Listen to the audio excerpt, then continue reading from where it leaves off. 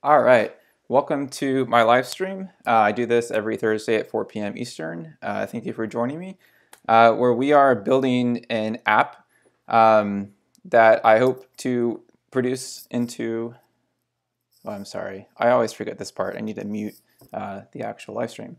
Um, I am building a personal budgeting app in the hopes of actually launching it into a real app. Um, and so uh, my live stream is just a chance to share what I'm doing, get this out early, maybe even get some early feedback. Um, and I feel like I'm hitting a lot of things that are just kind of fun to share and work on, just a lot of tips on how to work on a React app. Um, and so uh, we'll see uh, we'll see what we well what what we can get done today. Um, I am actually going to have to leave at 4:45, so this is probably going to be be a little bit shorter than usual. Um, so a few things first. Uh, so I realized if you notice my Twitch username is jlongster2. Uh, that's because when I tried to start this live stream, I signed up for jlongster. It was already taken, which is usually strange because jlongster is not a real typical name. Um, so I just had to do it really fast, and so I did did jlongster2. Uh, turns out I had registered jlongster like a year or two ago with a different email. Um, so I'm going to be moving to uh, I'm going to be moving my channel to the JLongster account. So next week it's going to be twitch.tv slash JLongster. I will update the tweet and everything like that. So most people probably won't be confused because you probably just follow the tweet. If you are using the calendar um, invite or the calendar um, event that I created, uh, you you will have to update that. Just to, so so just make sure next time do not go to JLongster to go to JLongster. Um, this last week, um, a bunch of stuff happened. Uh, first thing, which I'm super excited about, which is unrelated to tech at all, is um, my tomato plant is finally growing tomatoes.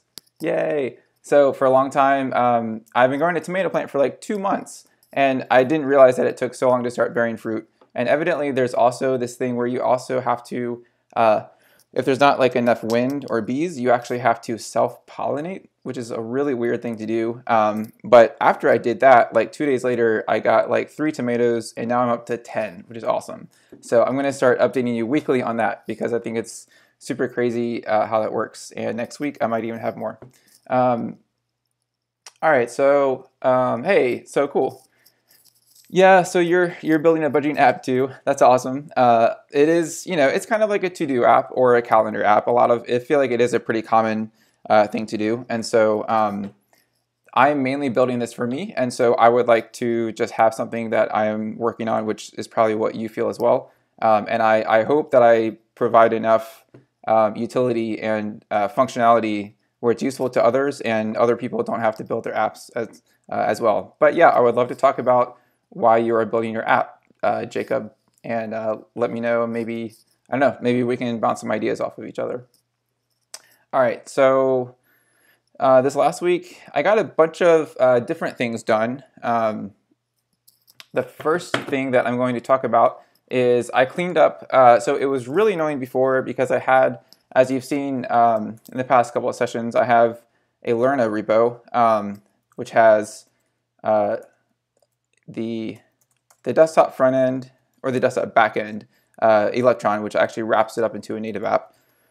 And then I have the front end, which is client, um, and that is a create React app. So you know I have to come in here and do npm start to to create the React app server. I also have in packages, um, not oh I'm not in the um, not a whole lot of things. Man, I cannot type today. But I have two, two packages. Um, in the future, I might have a few more. Um, the Loot design is like a separate design repository, so I can go in there and npm start it, and that is another Create React app that I can load and just work on the design. Uh, Loot core is a bunch of core, just this is the bulk of the app right here. Uh, but Loot core, um, this needs to be compiled with Babel, and so I have these scripts which uh, compile it with Babel, right? So I can say npm uh, start or npm run watch to run run the Babel watch process. But basically, every single one of these packages has its own like uh, like watch process, or maybe if it's starting a server, it's starting a server. The thing that is super annoying about that is now I have these four repos that I'm having to juggle the processes and make sure that the, the servers are started and have like four open terminal tabs.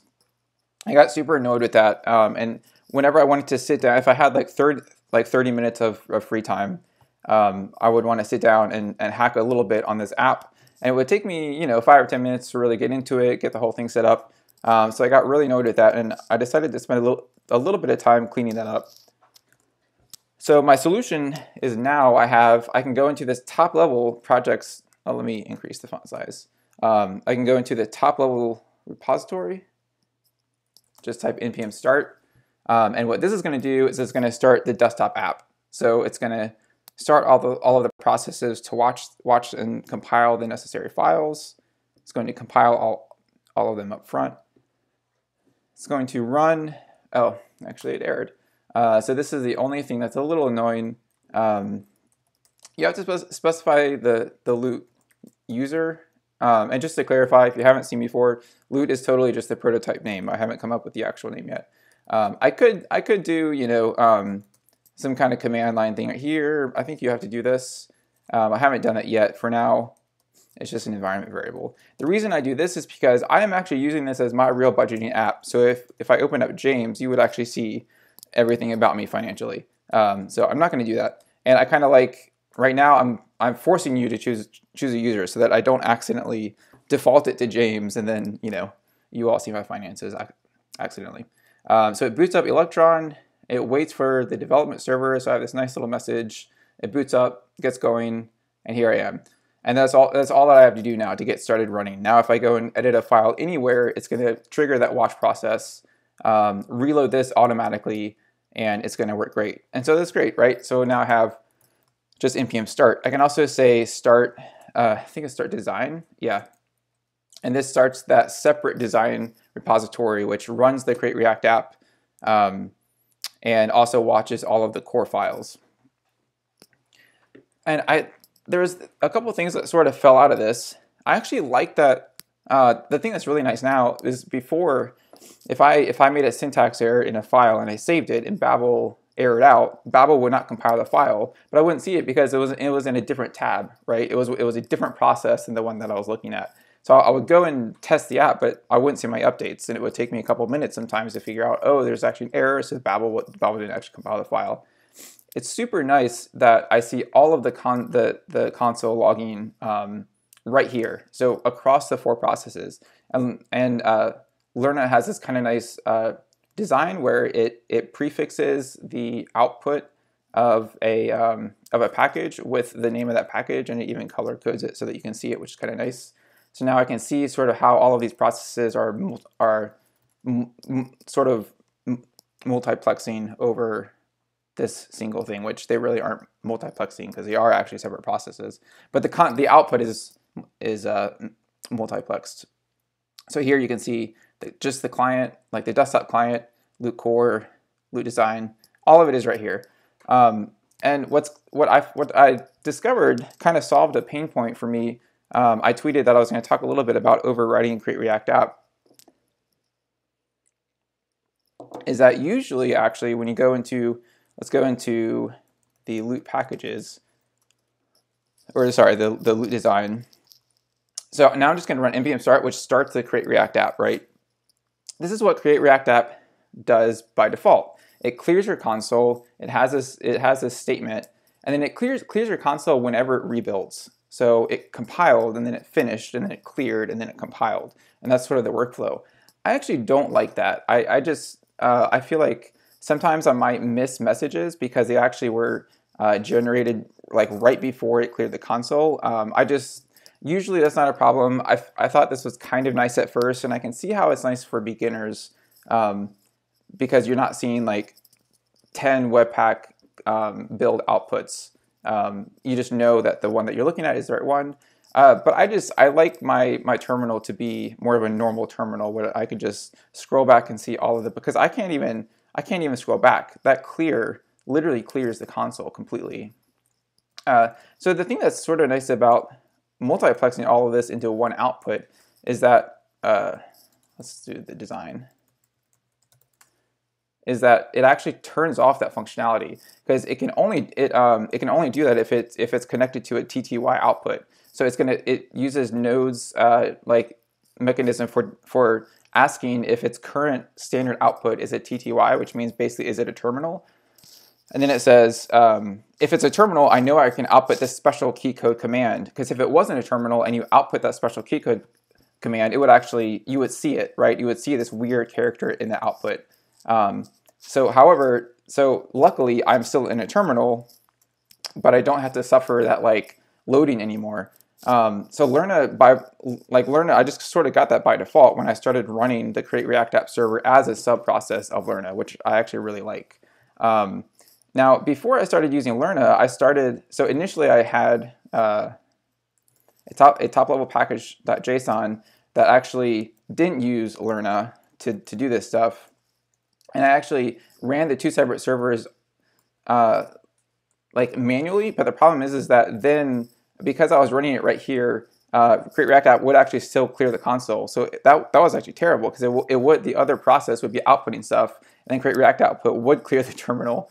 Um, and so I just want to show a really fun trick, which I think is awesome, to um, bypass this. So basically, I was sitting right here. This is create this is create React outputs, um, create React apps start script, right?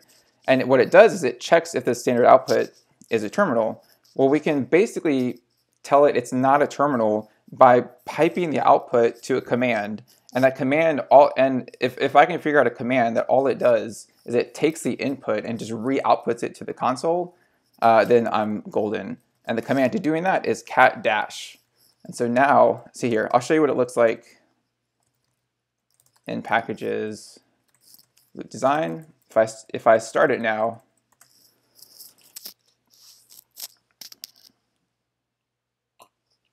so it does the clearing, you know, blah, blah, blah. I'm going to pipe it to cat dash, which basically the piping uh, turns it into uh, um, the std out is not my terminal anymore, right? So create React app is going to be like, okay, I can't clear it. It's going to pipe it to cat, which cat is just a command which just cats files, right? The dash is a special thing which says like the dash basically represents standard input. So you're basically telling cat, just cat, just just display everything that's coming in on the output. So I'm just piping it through cat. Um, and now if I do that, you magically turn it off. Yay. Oh, okay. But there's but there's still a problem here, right? See the difference? There was colors before, but now there's not colors because Create React App actually does the same thing. It actually checks if it's a terminal to see if, if it can output color for the same reasons because it outputs like a special command. Um, well, luckily, Create React App uses a library that reads from an environment variable force color. So you can actually force it to use color but still turn off the clearing. And so now we get the colors and no clearing. Um, so I thought that was pretty cool. Maybe that maybe that uh, annoyed you as well. Um, the reason why I don't have to do this anymore is because I, I realize that I can just use Lerna. But maybe that maybe if you're if you want more control over these things, then uh, you can hack it like this. Hacking around Create React App is sort of like my new like game. It's like an adventure game where I find the vulnerabilities and I can hack into it without having to eject. Uh, it's kind of like a new fun hobby in a way. Um, yes, and now, now, that I see this, there's actually one more hack you can, which is this, this one is not really a hack, but if I start server create React app, usually opens up Chrome. Oh, it actually, uh, I have a Chrome instance over here. Usually what it also does, in addition to clearing your terminal, it, it throws you into Chrome and automatically opens that tab, right? which I just hate that it takes your takes the focus away because there's other times when I when I actually want to go back to the editor. You can turn that off by doing just browser none, and that's something that that's that really is an environment variable that create that create React app gives you. Um, so anyway, so those are a couple of things that you can do with create React app um, to bypass what it does. Um, so what I'm going to do is, um, is it really useful enough to make working around stuff like that worthwhile? Apps Absolutely, freaking Lutley, because all I'm doing is just hacking around a couple terminal things, uh, but what you get is, is incredibly sophisticated Webpack configuration, all of your Babel uh, configuration set up.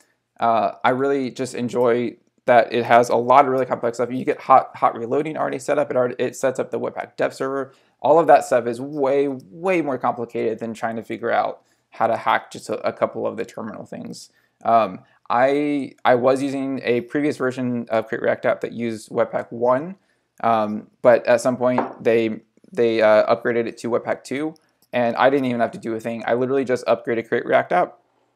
Um, I, I, ran like one command. I can't remember what it was. Maybe it, maybe it was just you know in, npm install create uh, React scripts, like a certain version or something. I just upgraded React scripts. I entirely upgraded to Webpack 2 for free without even knowing what happened. Um, and that probably gave me some performance improvements or, or, or, or uh, stuff like that. I never really want to touch Webpack again. I, I am at the point where I am just really, really tired of trying to make sure that my build tooling is not broken. Uh, so having other people take care of that for me is still absolutely fantastic. Uh, so that's that's my opinion at least. Um, if you want to go in and fiddle with it and make it work for you, that's totally fine.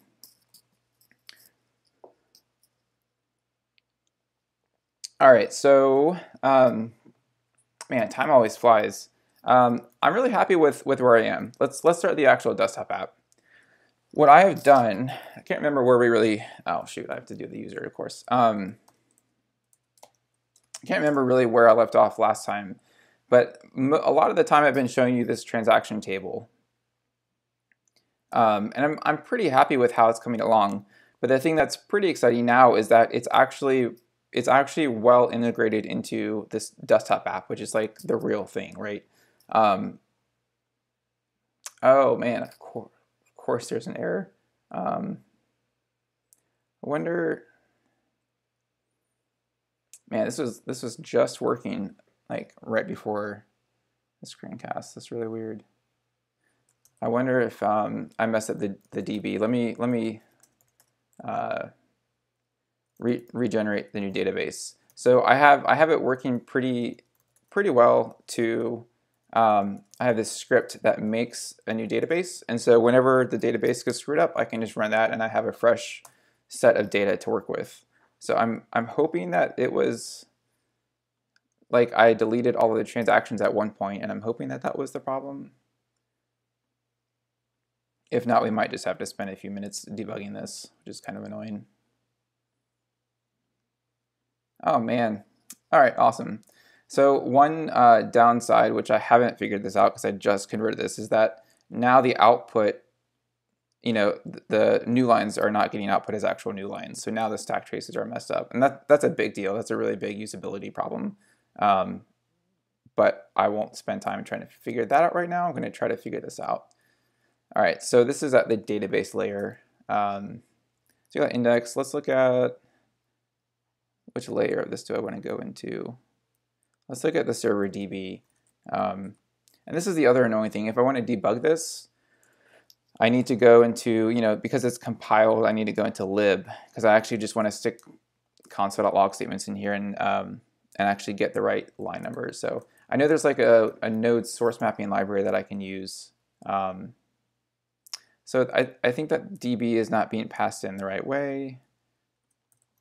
247. Why, how does that? Oh, I see, right, right. Uh, line index.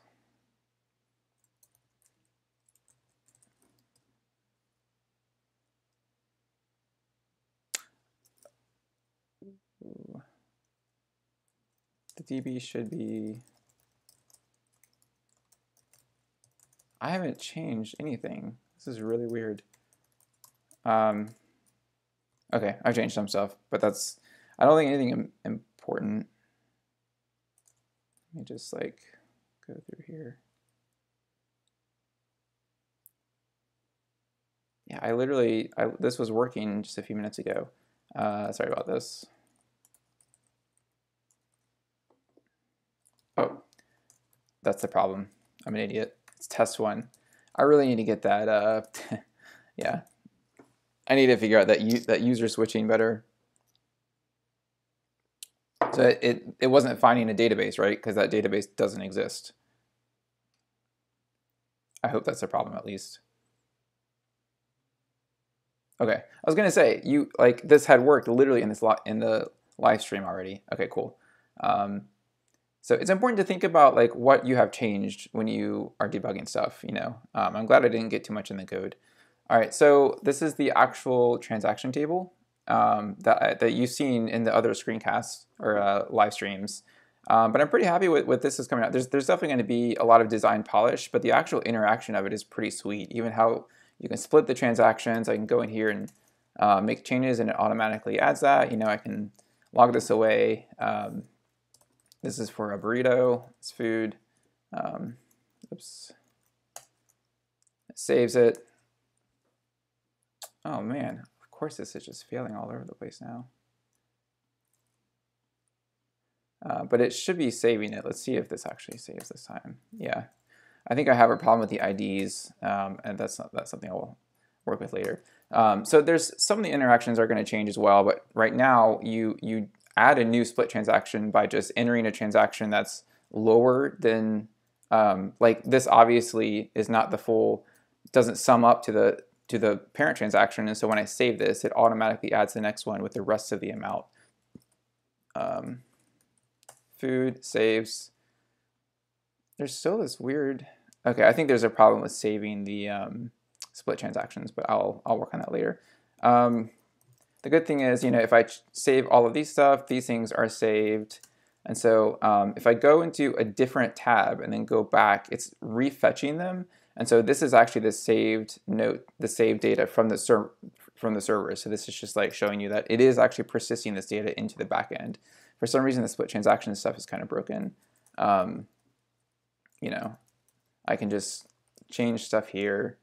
Oh, I didn't. Chipotle, chip toll. I have to press enter to actually save it, which, you know, several more small small interactions to figure out. Um, but generally, it's, it's, it's actually working and saving into the database. If you delete a parent transaction, it deletes all of the split transactions. Um, a lot of little things in here that this looks like a simple table, but really it's one of those things where to get it into this really, really streamlined sort of spreadsheet, uh, spreadsheet style interface, um, there's a lot of code to really make all of this work, stuff work, like the which row is it editing, which cell is focused, and and uh, and things like that. Um, and so yeah, so I'm excited because like you know this is starting to be a real app. It's not just in the design stuff anymore. And so um, this actually this actually updates accordingly. So, you know, this is 49,053. If I change this to 5, this should update. So now it's 4857. Um, so I'm not going to explain how that works because I think I'm going to try to not explain that on the live stream because I got to save something for the launch, right? I got to save save some some element of surprise for the launch. Um, but there there is sort of the the sweet sauce, um, the secret sauce in this uh, is sort of this data propagation system that that I built, which I think is which I think is a uh, pretty cool. And and I'm I'm hoping to get into like a beta in the next month, um, and then the beta will be sort of my launch, and then I'm going to live stream working on that part later. Um, but anyway, the idea is that you can change data here, propagates throughout the app. Um, soon, if I had time today, I'd probably work on, I want to list the accounts in the, this left section, right? And then I, this would actually show you the account balances. And so as you updated right here, the account balances would update. Um, but right now you can just see it updating over here as well. Um, so what I was going to do is right now, this code, um, the way that I do the CSS and JS is I actually embed CSS straight into the JavaScript. Um, like, let's see, so design, source, components, transaction. Um, I want to clean this up a little bit because this is this is pretty messy code. Um, I think the way it's structured is pretty nice, but it, it needs to be split up. There's a, there's too many hard-coded values.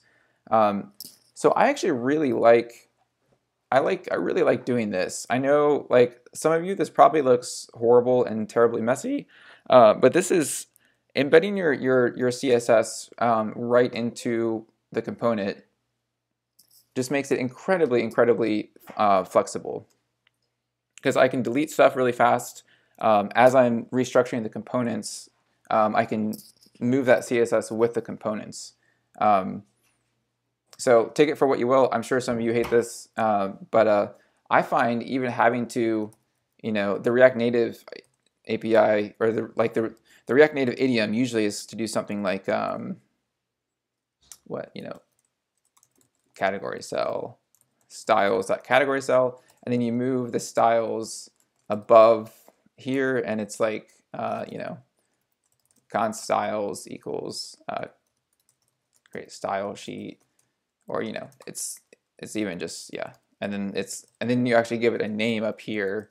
Um, that's sort of the, the typical idiom for a lot of the CSS and JS solutions where you, even though they're located in the same file, uh, and it's right above the component, like it's still close to the component, right? So that's what a lot of people think. I just, I, I've found that I've, I get into the flow a lot more and a lot faster, and I can restructure things a lot more if I can just see it right here, because all of these things are design components, right? There's there's a whole separate components which are going to actually um, build up the app and actually hook everything together and have a lot of glue. Um, but these design these components are meant to have CSS. They're only meant to implement uh, some design and maybe some behavioral things. They're not they don't hook up to any server or any API or anything like that. So to me, it makes sense that there'd be like CSS embedded straight in them. Um, but the problem is, is that there are a bunch of values like this. Like I really do not want hard, hard-coded colors and things like that because this is duplicated in several places, so it's hard to change that color. Um, and so what I want to do is I actually want to bring out some of these hard-coded constants into one place so I can change one color, one one padding, um, and have sort of like a more more consistent um, theming system in a way. Uh, let's see, are you manually inputting your results or are they pulled in from Bank API? Right now I'm generating a database randomly, um, but I, I do have it hooked up. Like I'm actually using this as my real budgeting app, right? And that is, I do have the ability to actually connect to your bank and automatically import transactions using a service, uh, using Plaid, Plaid, I guess is how you call it. Um, but Plaid is this awesome service for hooking up banking transactions. Um, and so you, you can do that. But it's just a whole, it's a whole lot quicker to be able to locally generate a database, right? And actually locally uh, just uh, generate sort of mock data. I mean, it's fantastic for tests too. So if I'm using that for development, the, the mocks are always going to be up to date, and that means that I can always um, always use them for tests too. Have I tried out Style JSX? Uh, which so there there are two there's there's JSX style, and there's there's like there's two that are very close, and I can never remember which one is which. So this one this one is the Zeit one. Um, yeah, it's just I mean it's the same thing, right? You have to give it like it's it's co-located to it's co-located to the component where it's really close to the component, but you still have to give it a name, which I just um, which I mean I think this is a fantastic library. Like this is they use straight CSS, and so you can just extract this out into a CSS file which is um, which is really nice. But what I like what I was trying to say was I literally like embedding it into the style prop and um, Glamor or maybe or maybe it's Glam. It's whichever one is newer. Um, actually, I think it is Glamor. They have this ability to actually specify a CSS component. Um, and they do all sorts of crazy stuff with that. So I'm probably going to end up switching to that because they have a lot of good tooling built around that. Um, but yeah, I just really like embedding it straight on the view because otherwise, you know, it would look like this. I'd have to give it like a class name. Um, and then with Style.jsx, I would put all the CSS down here. But for these components, these are literally design components, right? So this is like this is the meat of the component. This is the stuff that I'm wanting to work with. Um, so it feels weird to have a bunch of views and stuff up here and then have to like mess with the CSS down here because I'm I would like when I was writing this, I was constantly dividing up the views into more views and like moving the CSS around. So I don't know. It could just be a personal thing. I that's totally subjective. If you like to move your styles elsewhere, um, I am not going to judge, and that is completely a personal opinion. So yeah, I think this is the one that I like. Um, all right, so I think what I want to do, so I only have 10 minutes. Um, so I think, let's see, mm, yeah. I think I'm going to um, try to clean a little bit of, of this code up. I think, so I'm not going to do it right now, but I think one thing I do want to do, you know, this file is 700 lines long. Um, it has, as I mentioned before, I do like having multiple components in one file uh, if they sort of are semantically related and like you usually use them together. Um, this one has sort of evolved to the point where I need to split it up. There's like a transaction table. Um, there's just there's just a lot of stuff here, so I know I need to clean that up. But I'm not going to split up into files on the live stream because um, that's just grunt work and that's just not very interesting. uh, what I would like to do is sort of uh, create this theming design system because I also have some design friends and I, I, want I want them to be able to sort of tweak this and sort of help me, you know, think of stuff. And so um, they, they're not going to be able to come in here and figure out how to actually edit this stuff, uh, which is is it, that is a downside for using this kind of styling system. It's not your typical designers might not be able to to work with this a whole lot. But I do think that you can mitigate that a lot just by um, coming into, so I, I, have this file right here that's style.js or style.js. Um, and I import it at the top of here, at the top of my component. Um, and if I just, if I abstract out the important parts that a designer might want to actually like twiddle and, and, uh, and tweak, I think that, I think that mitigates a lot. Like if, if the designer is meant to be working on the app and actually building a lot of stuff, um, then yeah, they're probably gonna have to change their patterns if they're if they're not used to CSS and JS. Uh, but I do think if a designer is just sort of like implementing colors, implementing a lot of other stuff, changing paddings, um, I think if you structure this in the right way, that you can mitigate the learning the the lack of familiarity. So let's just let's start with um, I think I am using like styles. I have styles. Yeah, I think I'm only using it twice twice right now. Um, whereas if you look at the app, um, there's the color of the of the edited border. There's the color of the whole uh, table of the whole of all of these borders. There's the hovered there's a hovered color. Uh, there's just the text color. There's the color of this label.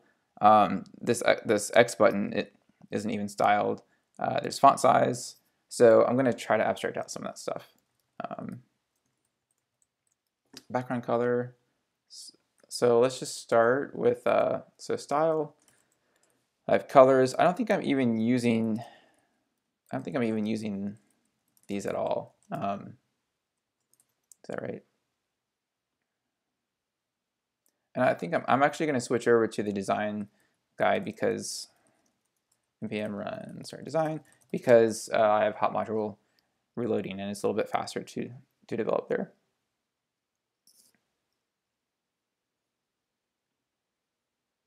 All right, so now I go to low close 3000.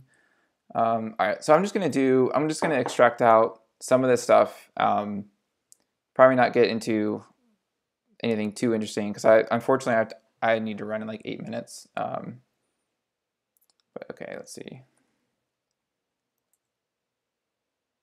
Filed successfully. Cool. All right, so here's Here's my table. It still works fine even though I deleted those colors. Um, let's see. Let's do this. All right, let's first start with that like editing color. Actually, what is, oh, right. So this is the background color of the split transaction. So if I change this,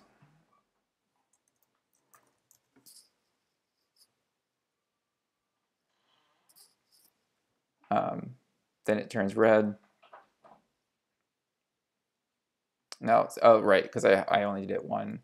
So one thing I'm not entirely sure, I need to talk to some, get other people's uh, feedback about, like, how do I name name my colors? Should I actually do, you know, split transaction, background, um, was red, and then I change this into styles dot split transaction background.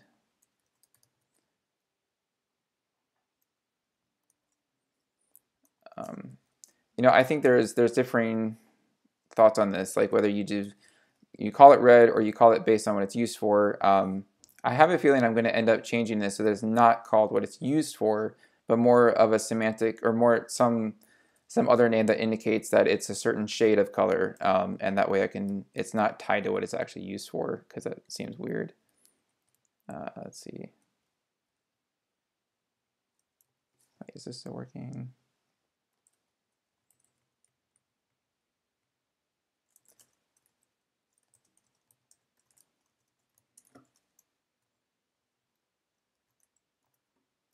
Okay, so I already have a problem. It's weird.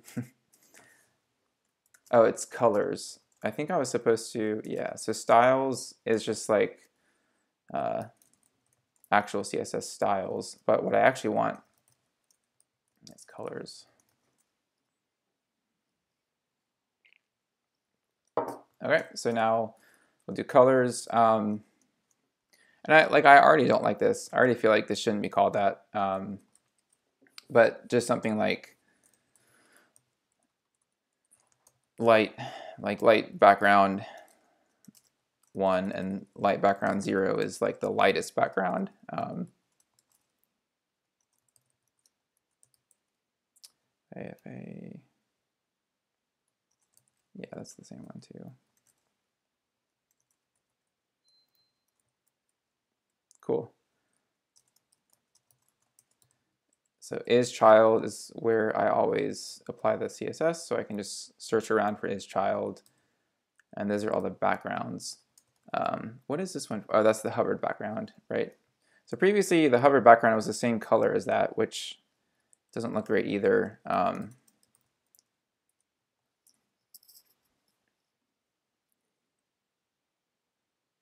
so it's a little, is the hovered FA or F0? Yeah, it's FA.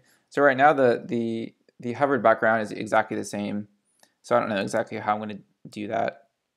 Um, or maybe maybe I don't even apply a background color to the split transactions because there is sort of this design.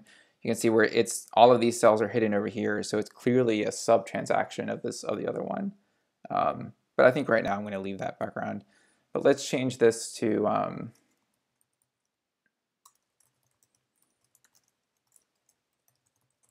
light background as well. All right, and now let's do colors. Man.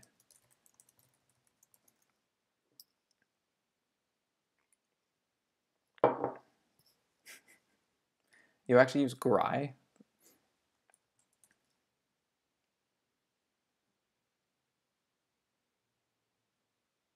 Okay, so that's working now.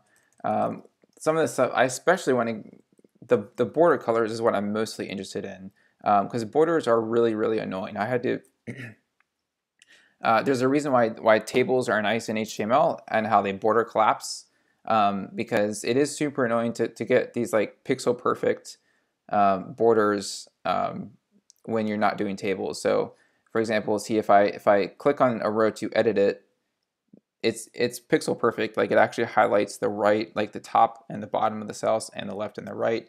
But to change those colors, I have to do all sorts of hacks so that because um, this you know this border right here covers this next cell. Like you don't see a little bit of a lighter gray up here. It actually um, this is actually sharing a, a border. Um, and you know, I'm not going to use tables because tables are just annoying, and I, it would be impossible to do this kind of thing right here.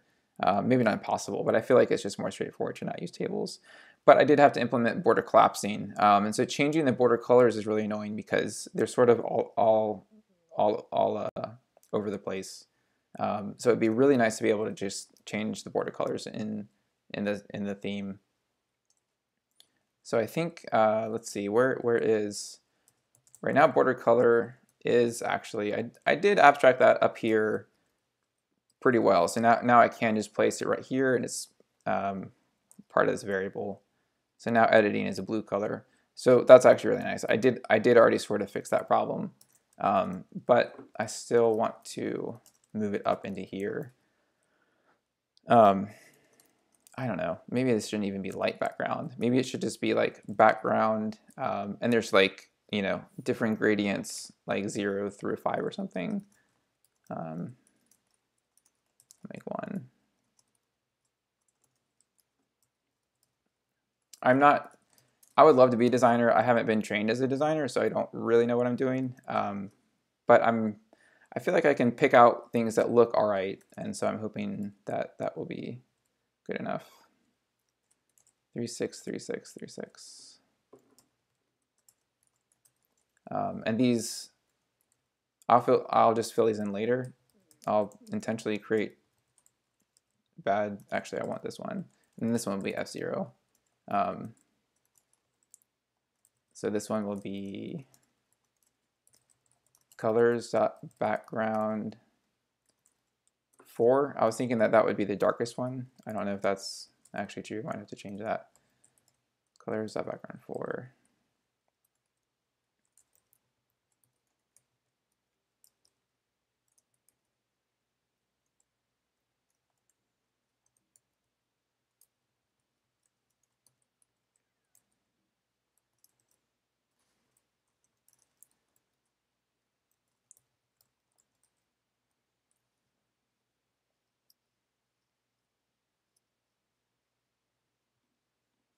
All right, cool. So now I can just um, come into here and change, you know, fiddle with these. And as I uh, am more into,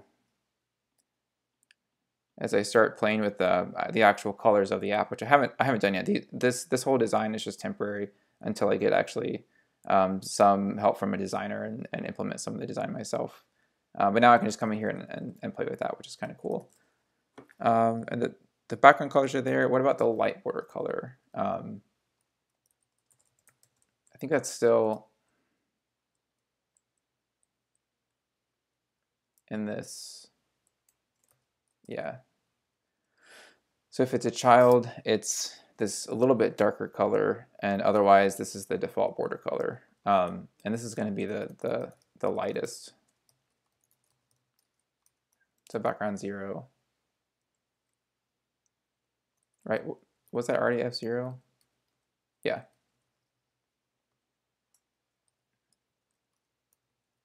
And then this one is, because the background is a little bit darker on the split transactions, uh, the background is actually a little bit, oops, I actually want this to be 2. That's one I haven't used yet, so let's just make this easier. So you see right here, that's messed up. So, so now that looks that looks okay. I, I'm probably going to tweak this over time. Um, but as long as it stands out a little bit more. Um, so that's kind of the idea. Um, I'm going to go through here. The next thing I'll do is split up a, a, like a lot of these things into files. Uh, that way it might not be as confusing as I'm jump like jumping around a lot because there's a lot of components in here like table, row, all of the cell stuff which I went through last time. Um, but it was nice having this one file while I was going through a lot of churn. And that's that's typically how I do stuff is I, I just flush things out, delete a lot of stuff, go through a lot of churn um, in one file. And then once I feel like I've settled on the right abstractions, then I go back and do what I'm doing now, which I'm, I'm extracting out the hard-coded stuff, start splitting up in, um, into different files, and then I'll go from there. Um, so I got to run. Sorry, this was a little bit of a, of a shorter um, live stream. I'll try to have something a little more exciting next time, maybe some real parts of the app and start talking about the budgeting system. Um, and I will go from there. So thank you for watching. Any last questions? I don't think so. So um, as always, let me know how, how, how I can improve. Um, would you like to see me explain more of what I already have rather than just seeing me work? Uh, anything like that, uh, just let me know and I'd be happy to take that into consideration. All right, have a good week. I'll see you next week. Bye.